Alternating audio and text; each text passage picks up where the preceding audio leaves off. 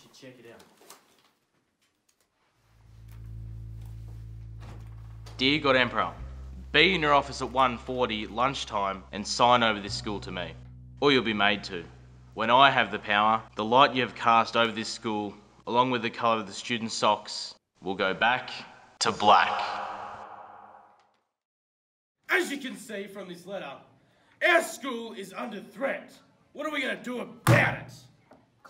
Call the Department of Education. Ground them to dust! Well, according to my calculations, the best course of action is to go into the witness protection scheme. Or, you know, we could just figure out who they are. How are we going to find out who they are? These guys are lunatics. Exactly. If we figure out who they are, maybe we can end the conflict by giving them a warning. A warning? Yes, a warning. That's a great idea. No one would go against a warning.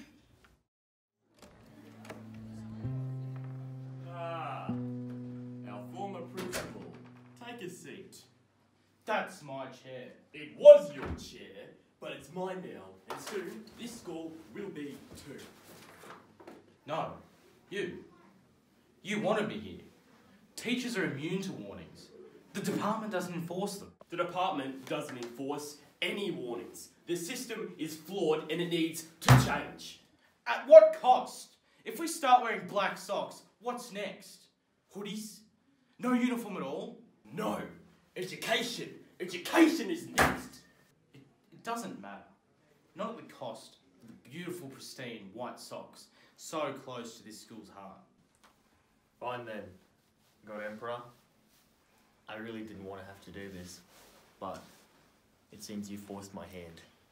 No, don't do it. Don't do it. Fine, I'll sign. I'll sign.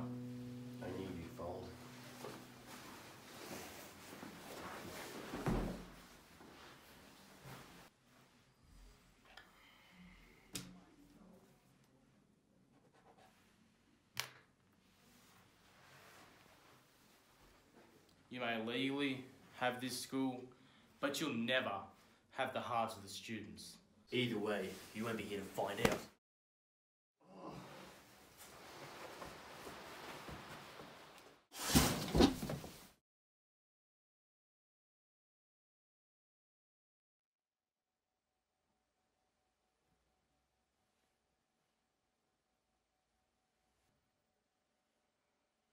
Mr. Anderson!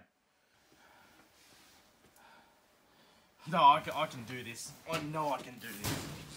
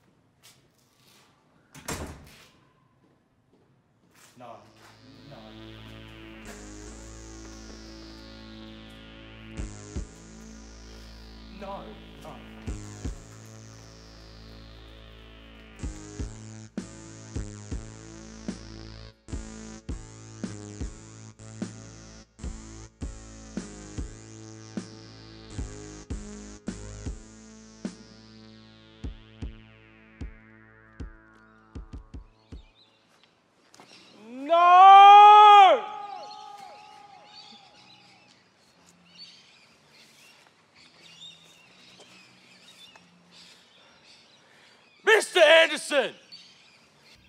Face me! Former principal! I thought I took care of you. How dare you ruin this school with your stupid decrees? I want you to fight me right here on the jewel of my kingdom. Alright then. Guess I'll humour you. But if I win, you leave the school forever. It's fine, because I won't lose. We'll see about that.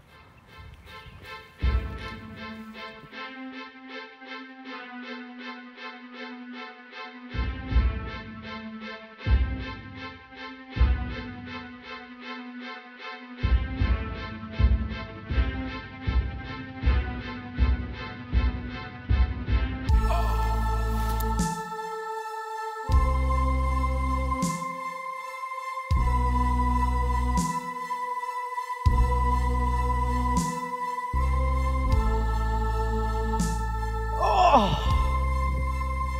Any last words? God, Emperor. Only four. Not on my lawn!